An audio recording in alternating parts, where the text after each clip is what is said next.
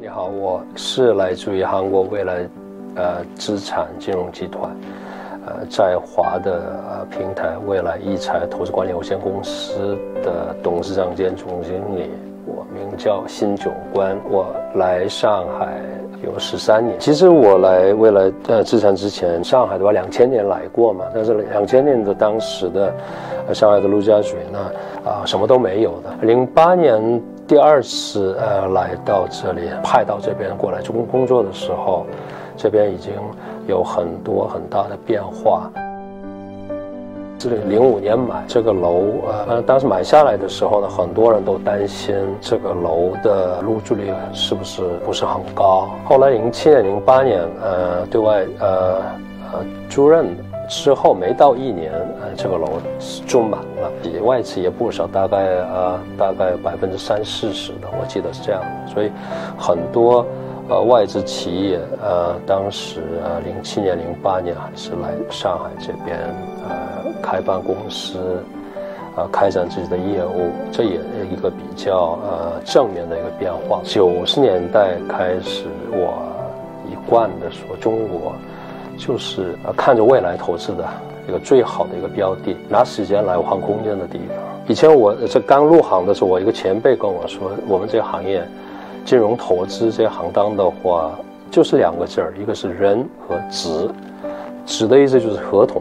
契约，对吧？人与人之间的这个这个连接的工具就是合同或者契约嘛。上海就是中国的一个一个契约精神的一个代表，觉得，呃，上海的经商，我们这个金融投投资的这个行业，绝对是最最最优秀的、最最优选的、最好的。外资刚来中国本土，确实不熟悉。我们这个上海这边的话，这个陆家嘴全球。呃，资管的联合会跟他们沟通，他们也是侧面支持。比如说新呃出的政策，他们自己也研究给我们解释。定期不定期的召开一些说明会或者交流会，这也是整套的上海经商环境的非常重要、不能忽略的一部分。我觉得这边的话，你看到现在或者往后十年、二十年，浦西那边呢也会看到。我们小时候的回忆，我自己有折叠式的单车，上班的路上，比如说湖南路啊，或者安福路，我喜欢。你如果是问我为什么的话，我觉得这不是什么，这那边房价多贵，就是我们七七十年代、八十年代偶尔想到的就是我的外婆啊，或者奶奶呀，一段回忆都有什么一个一个密码的吧，对吧？给我想到我我。我我亲人的一些一些密码的所以我非常喜欢。去年疫情那那刚发生之后，我们也呃大概过个两三周之后是开始上班嘛，动辄就忘掉把这个戴个口罩嘛，好吧？我就露天这样骑过来骑回去。